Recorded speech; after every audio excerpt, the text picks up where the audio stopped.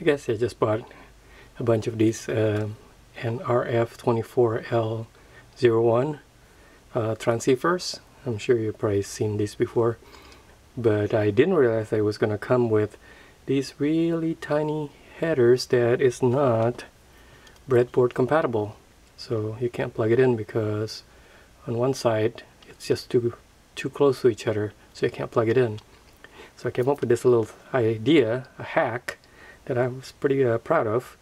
And as you can see, it takes basically a long-legged header, bend that, that goes over here, bend that, and then uh, bend one of the leads of the uh, of the module, and then you could plug it into a breadboard. Pretty simple.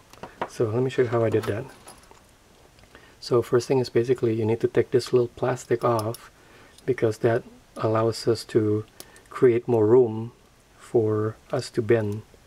So very carefully, gently pry it off the PCB using a small screwdriver. Okay. Ta-da! So got that out. Now it's time to bend the, the bottom one so we can plug it in. I just use my fingers, but you could probably use, well, you should use pliers.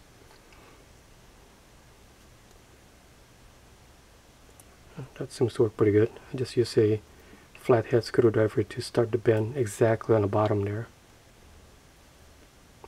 Once you get it started, bends pretty easily. And I use the edge, the table edge. You gotta straighten it out back.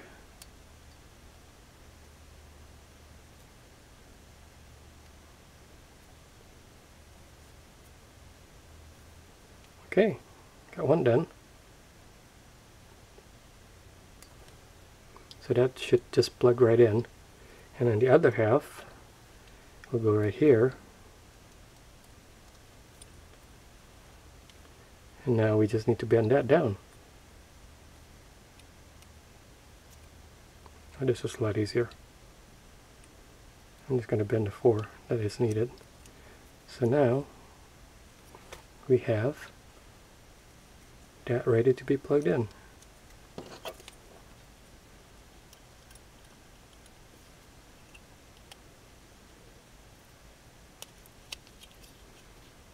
There we go.